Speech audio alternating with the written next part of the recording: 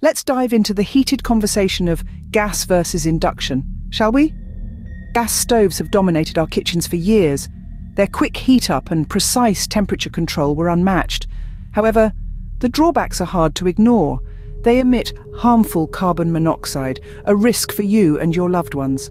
Plus, they demand ventilation, adding complexity to your kitchen design.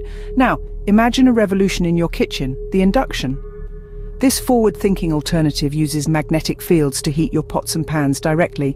It's not just faster, it's remarkably safer, eliminating the fear of gas leaks and harmful emissions. Moreover, the efficiency of induction stoves is simply unbeatable. They heat up your food, not the entire kitchen, saving on your energy bills. Above all, induction stoves champion environmental friendliness. Say goodbye to harmful emissions and hello to a greener, cleaner kitchen. However, keep in mind that they do need specific cookware to function, but isn't it a small price to pay for a safer, more efficient and eco-friendly cooking experience?